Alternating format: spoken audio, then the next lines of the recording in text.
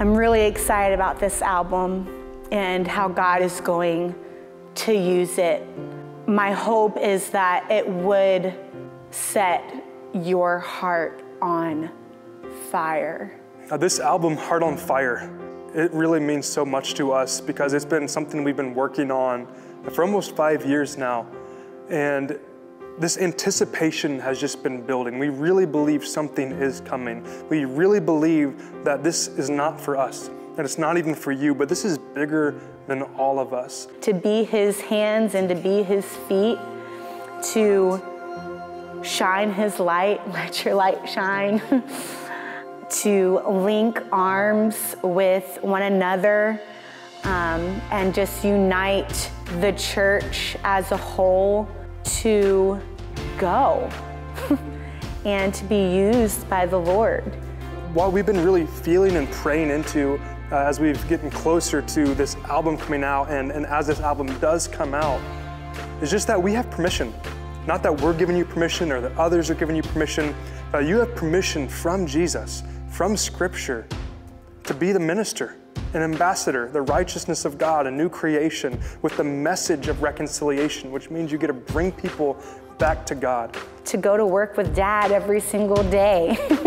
it's such a, a, privilege that we have. And um, I, I do believe that we were created for worship.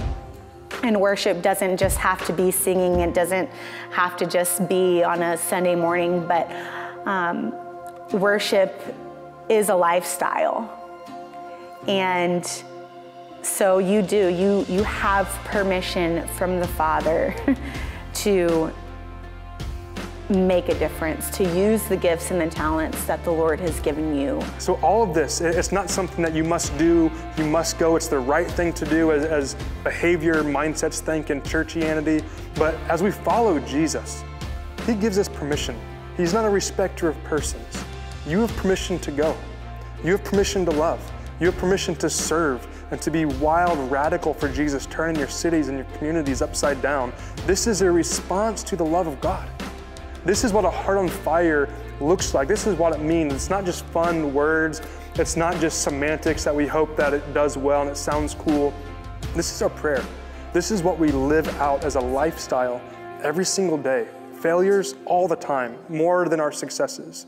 But a heart on fire is simply an obedient, immediate, radical response to Jesus making his first step of love towards us. And when that grace hits you, there's nothing that you feel like you must do, must prove, must show. It's just a response of a heart on fire for God that's willing to give everything away for as long as you possibly can for Him to receive all the glory. Like it says in Psalm 115:1, one of our life verses, not unto us, O Lord, not unto us, but unto your name be the glory. And so I hope that your heart would burn within you as you remember who Jesus is and what he's done, and that he's empowered you with permission to take that to the world.